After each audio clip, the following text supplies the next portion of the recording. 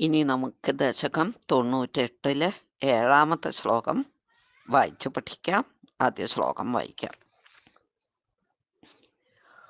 ഭൂഷാസു സ്വർണവത്വാ ജഗതി ഘടശരാവാദികേ മൃത്തികാവത്തത്വേ സഞ്ചിന്യമാനേ സ്ഫുരതി തദധുനാപ്യദ്വിതീയം വപുസ്തേ സ്വപ്നദ്രഷ്ടുഃ പ്രബോധേ തിമിരലയവിധോ ജീർണരജ്ജോശ്ച യദ്വത് വിദ്യാലാഭേ തഥൈവ.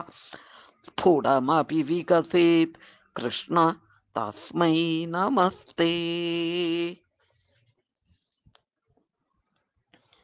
കഴിഞ്ഞ ശ്ലോകത്തിൽ പറഞ്ഞു മൂലപ്രകൃതിയിൽ അല്ലെങ്കിൽ മായയിൽ പ്രതിഫലിച്ച ബ്രഹ്മമാണ് ഈ കാണുന്ന പ്രപഞ്ചം എന്ന്. ഈ ശ്ലോകത്തിൽ പറയാണ് ബ്രഹ്മവും പ്രപഞ്ചവും ഒന്നു തന്നെയാണ് എന്നാണ് പറയണത്. നമുക്ക് ഓരോരോ വാക്കായിട്ട് അർത്ഥം നോക്കാം.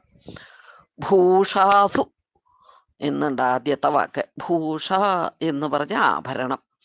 ഭൂഷാസു പറഞ്ഞാൽ ആഭരണങ്ങളിൽ സ്വർണവദ്വ എന്നുള്ളത് രണ്ട് വാക്കാണ്. സ്വർണവത്. വാ. സ്വർണവത്. വത് പറഞ്ഞ പോലെ എന്നാണ്.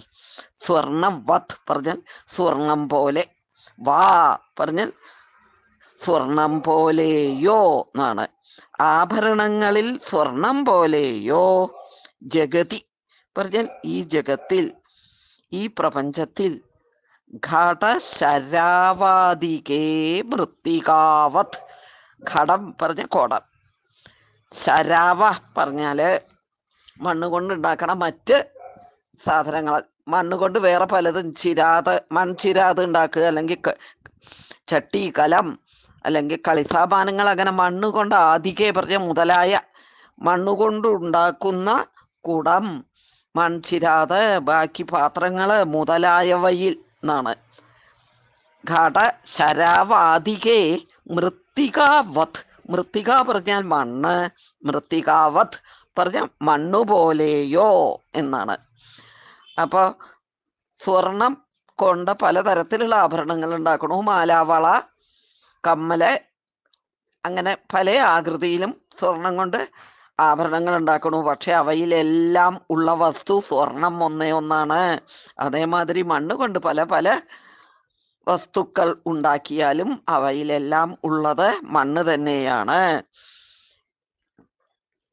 എന്നിട്ട് പിന്നെ പറയാണ് തത്വേ സഞ്ചിന്യമാനെ പറഞ്ഞാൽ തത്വത്തിനെ പറ്റിയിട്ട് സഞ്ചിന്യമാനെ നല്ലോണം ആലോചിച്ചാൽ അതായത് ആ പരമാർത്ഥ തത്വം എന്താണ് എന്ന് മനസ്സിലാക്കാൻ വേണ്ടിയിട്ട് നല്ലോണം മനനം ചെയ്താൽ എന്നാണ് തത്വത്തിനെയൊക്കെ പറ്റി ആ പരമാർത്ഥ തത്വത്തിനെ പറ്റിയിട്ട് നല്ലോണം ആലോചിച്ച് നോക്കുകയാണെങ്കിൽ സ്ഫുരതി തദധുനാപ്യദ്വിതീയം വപുസ്തേ.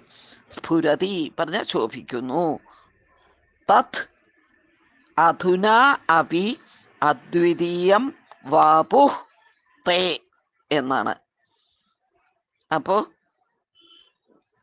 അധുന അപി അദ്വിതീയം തേ വപുഃ സ്ഫുരതി എന്നാണ്. അപ്പോൾ ആ പരമാർത്ഥ തത്വത്തിനെ പറ്റി നല്ലോണം ആലോചിച്ചാൽ അധുന അഭി ഇപ്പോഴും കൂടി. എന്ന് പറഞ്ഞാൽ ഈ പ്രപഞ്ചം സ്ഥിതി ചെയ്യുന്ന സമയത്ത് കൂടി. അതായത് മുമ്പ് പറഞ്ഞു ഈ പ്രപഞ്ചം ഭഗവാനിൽ ലയിച്ച നേരത്ത് പിന്നെ ഇവിടെ ആകെ ഇരുട്ടായി. പിന്നെ അവിടെ പ്രകാശമായിട്ട് പ്രകാശ സ്വരൂപനായ ആ പരബ്രഹ്മ ചൈതന്യം മാത്രം ബാക്കിയായി എന്ന് പറഞ്ഞു. അതല്ലാണ്ട് ഇവിടെ ഇപ്പൊ ഈ പ്രപഞ്ചം സ്ഥിതി ചെയ്യുന്ന സമയത്ത് കൂടി എന്നാണ് അധുനാവി എന്നുള്ളതുകൊണ്ട് ഉദ്ദേശിക്കുന്നത്. അധുനാവി തദ് അദ്വിതീയം തേ വപു. ആ അദ്വിതീയമായ പറഞ്ഞാൽ എന്താണ്? നോൺ ഡ്യുവൽ രണ്ട് എന്നില്ലാത്തത്. ഒന്നേ ഒന്നായ തേ വപു അങ്ങയുടെ വപുസ്. അങ്ങയുടെ ശരീരം സ്ഫുരതി ശോഭിക്കുന്നു. അപ്പൊ എന്താണ് ഇതുവരെ പറഞ്ഞത് വെച്ചാൽ ഈ സ്വർണ ആഭരണങ്ങൾ ഏത് ആകൃതിയിൽ എങ്ങനെ ഉണ്ടാക്കിയാലും അതിന്റെ ഉള്ളിലൊക്കെ ഉള്ള ഒരേ ഒരു കാര്യം. സ്വർണാണ് മണ്ണുകൊണ്ട് എന്തൊക്കെ തരത്തിലുള്ള വസ്തുക്കൾ ഉണ്ടാക്കിയാലേ അതിന്റെ ഉള്ളിലൊക്കെ ഉള്ളത് സ്വർണമാണ് എന്നതുപോലെ നല്ലോണം ആലോചിച്ചു നോക്കിയാൽ ആ പരമാർത്ഥ തത്വത്തിനെ പറ്റിയിട്ട് മനനം ചെയ്താൽ ഇപ്പോൾ ഈ പ്രപഞ്ച സ്ഥിതി ചെയ്യുന്ന സമയത്ത് കൂടി ആ പ്രപഞ്ചത്തിന്റെ ഈ ജീവൻ ഇല്ലാത്തതുമായ എല്ലാ വസ്തുക്കളിലും ഉള്ള ഒരേ ഒരു ശക്തി അങ്ങയുടെ ആ നോൺ ഡ്യുവൽ അദ്വിതീയമായിട്ടുള്ള അങ്ങയുടെ ആ ഒരേ ഒരു വപുസാണ് ഉള്ളത്. അങ്ങ് ഒന്നേ ഒന്ന് മാത്രമാണ് ഇതിൽ എല്ലാം ഉള്ളത്.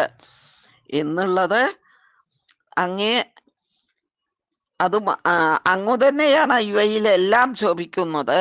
എന്നുള്ളത് മനസ്സിലാവും എന്നാണ് ഇതുവരെ പറഞ്ഞത്.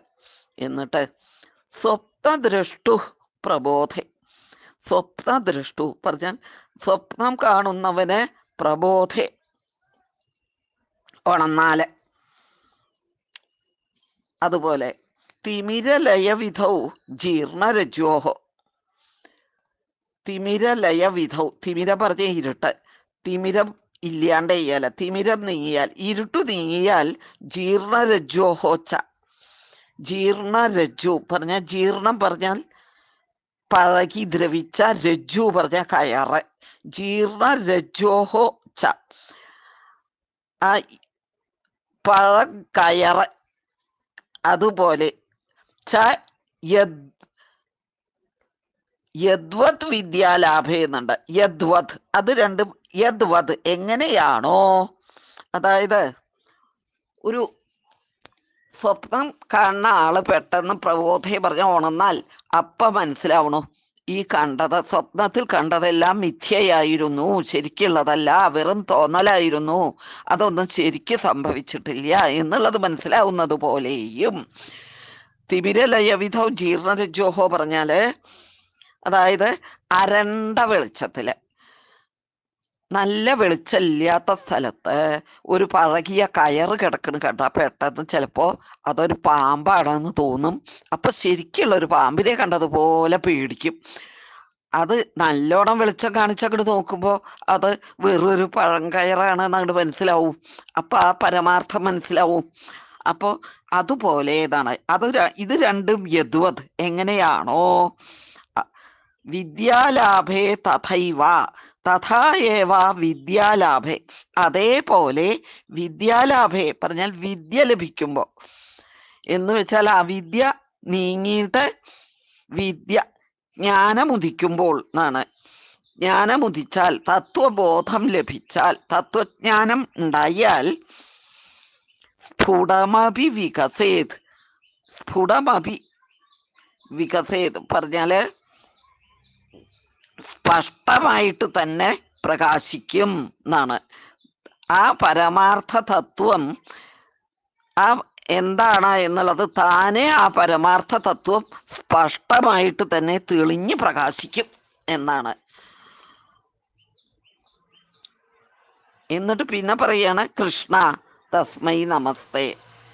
അല്ലയോ ഭഗവാനെ. തസ്മൈ തേ നമ. അങ്ങനെയൊക്കെയുള്ള നിന്തിരുവടിക്ക് നമസ്കാരം എന്നാണ്.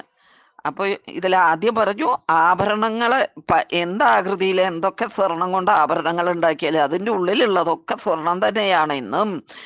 മണ്ണുകൊണ്ട് പല പല വസ്തുക്കൾ ഉണ്ടാക്കിയാലും അതിന്റെ ഉള്ളിൽ ഉള്ളതൊക്കെ മണ്ണാണ് ഇന്നും. ഉള്ള ആ അത് പോലെ ഈ പരമാർത്ഥ തത്വത്തിനെ പറ്റി മനസ്സിലാക്കിയാൽ അതേപോലെ ഈ ജഗത്തിൽ കാണുന്ന ജീവനുള്ളതും ജീവനില്ലാത്തതുമായ എല്ലാ വസ്തുക്കളിലും അങ്ങയുടെ അദ്വിതീയം വപു ആ അദ്വിതീയമായ നോൺ ഡ്യുവൽ ആയിട്ടുള്ള ഒന്നേ ഒന്നായിട്ടുള്ള അങ്ങയുടെ ആ വപുസ് മാത്രമാണ് എന്നുള്ളത്. അങ്ങ് തന്നെയാണ് ഈ കാണുന്ന ജഗത്ത് എല്ലാം എന്നുള്ളത്. അത് ആ തത്വത്തിനെ പറ്റിയിട്ട് പരമാർത്ഥ തത്വത്തിനെ പറ്റിയിട്ട് മനസ്സിലായാൽ ആ തത്വജ്ഞാനം ഉണ്ടാവുന്നു എന്നാണ് ആദ്യം പറഞ്ഞത്. എന്നിട്ട് പിന്നെ പറയാണ് ഉറക്കം ഉണർന്നാൽ ഈ സ്വപ്നത്തിൽ കണ്ടതെല്ലാം മിഥ്യയായിരുന്നു എന്ന് മനസ്സിലാവണത് പോലെയും നല്ല വെളിച്ചം കാണിച്ചാൽ ആ പാമ്പാണെന്ന് വിചാരിച്ച് പേടിച്ചത് ഒരു വെറും പഴം കയറായിരുന്നു എന്നും മനസ്സിലാവണത് പോലെ വിദ്യാലാഭേ വിദ്യയുണ്ടായാൽ ജ്ഞാനമുദിച്ചാൽ തഥൈവ അതേപോലെ. ആ